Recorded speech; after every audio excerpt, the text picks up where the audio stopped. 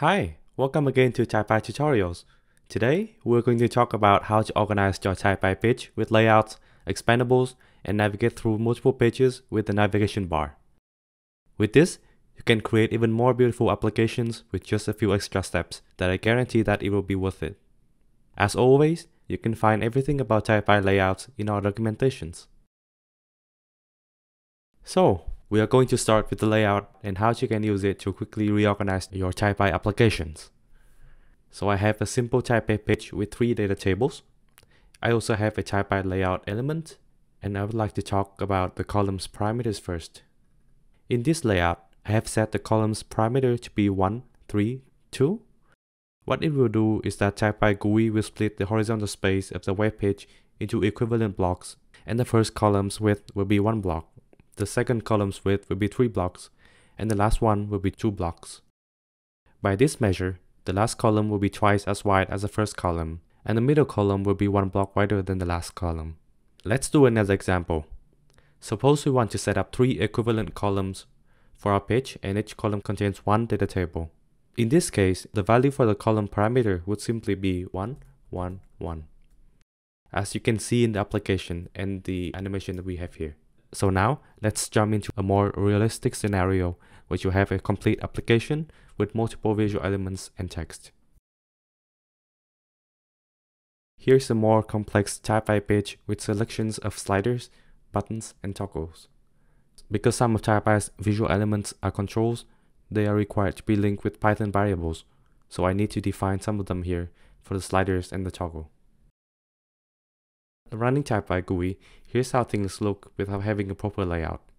By default, everything is in one page and the visual elements are organized just like a normal document, from top to bottom.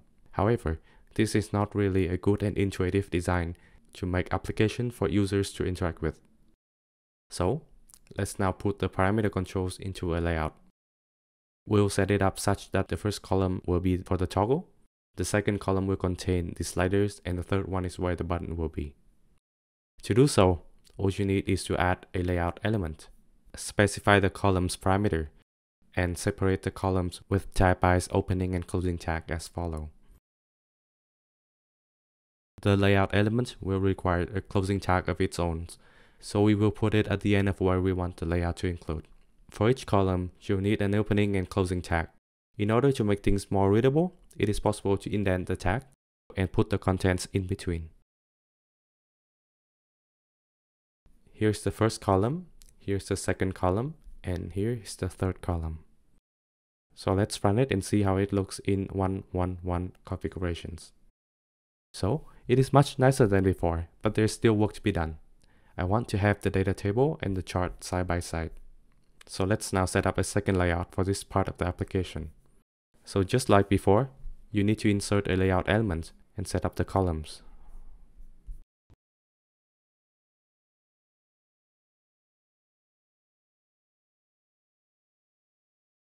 Here's the opening and closing tag for the first one and the second one.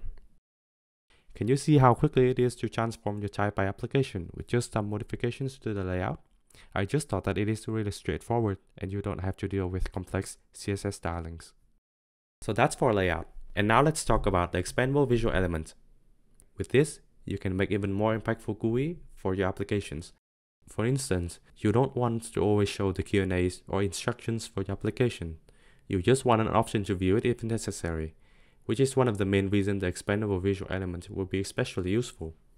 So, let's jump back to our example. As you can see, the how does it work section is somewhat relevant to the rest of the application. But maybe not everyone wants to see it. So, let's insert an expandable and put this section under that, so that it's only visible if the expandable is opened. In order to do so, we will need an expandable visual element. Here's the general syntax for it.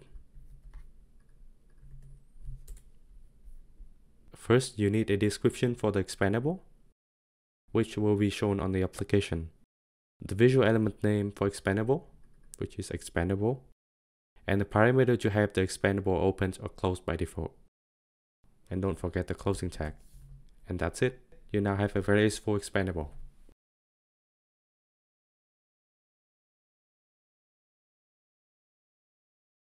And the last thing that we're going to talk about in this video is one of the coolest visual elements that will certainly make managing multiple type pages a breeze, which is the navigation bar.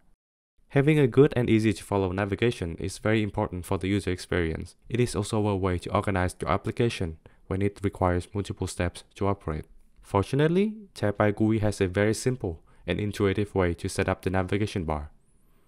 Once you have your pages in separate Python string variables, just like this, you just need to include the general syntax for a navigation bar page as follow.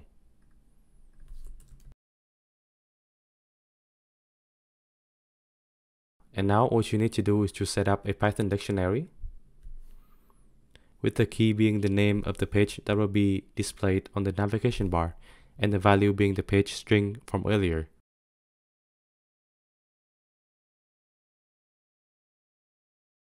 And the last step is to change the parameter inside Taipy GUI run command with the pages equal to dictionary that we just set up.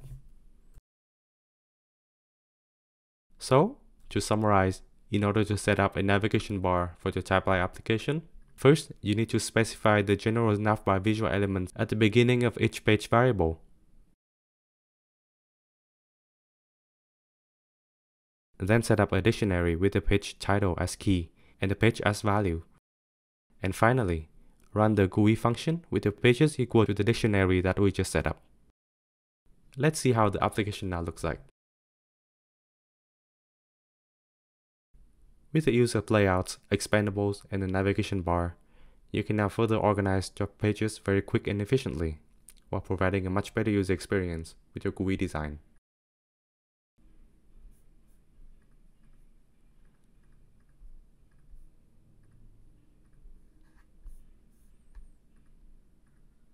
Thank you for watching and we'll see you on the next tutorial videos. As always, if you have any questions or suggestions for Taipy, please go to our discussion page. Otherwise, you could check the gallery on our website, where you'll be able to find templates for multiple projects that we have built just for you. Thank you again and we can't wait to see the magic that you will create with Taipy.